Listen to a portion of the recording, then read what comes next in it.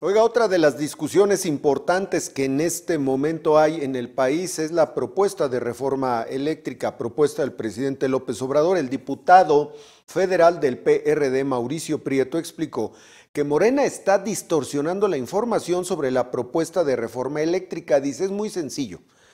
Si queremos que la reforma transite, tiene que ir enfocada a energías limpias y renovables como el resto del mundo energías limpias y renovables. Lamentablemente la propuesta del presidente López Obrador va en sentido contrario, en el uso, en continuar usando energías sucias para generar mala electricidad. Lo explica Mauricio Prieto.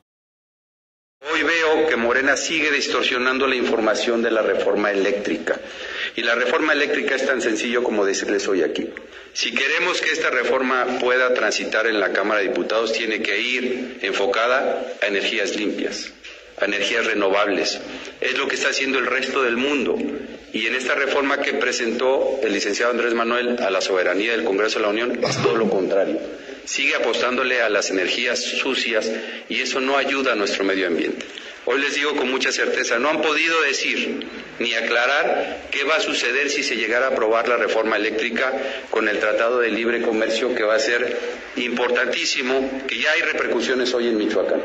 Hoy ya tenemos el bloqueo de la exportación del aguacate y no podemos decir que sea por la reforma eléctrica, pero sí estoy seguro que algo tiene que ver con la reforma eléctrica.